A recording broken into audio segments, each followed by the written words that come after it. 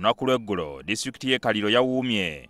Abasoga nga basagambiza olw'omulangira edward columbus wambuzi okulabikako gye bali.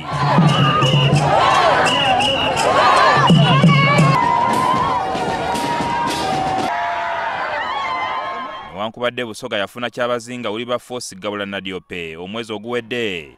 Ekiwayi kino kyo kimanyi wambuzi mutabani w'omugenzi wa komuloki bakalu twagala omulangira ng'alina amaanyi ng'omulangira ewu alinayo abantu abafaanana bwe bati oyo asobola okukuba akalulu.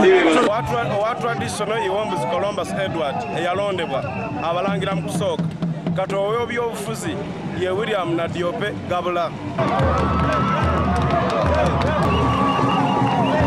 Enguudo mu kibuga kaliro zakwatiridde nga wambuzi ayanirizibwa mu mizira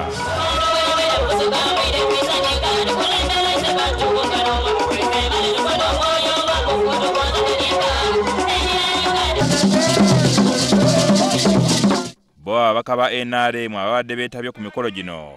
Okwabadde minisita w'ebyobutonde flavia munaaba ne kenneth lubogo tebabaganyiza kubaako kye boogera nga babalanga gwa kubalemesa kufuna kyabazinga gwe baagala. Tukyuse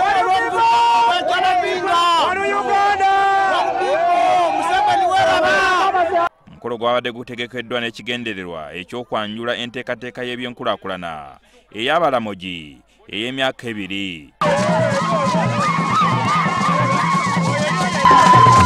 era ng'emikolo gy'obuwangwa bwe gitabulako byeneena bano kigambibwa nti bajjajja baabalinnye ku sekalotera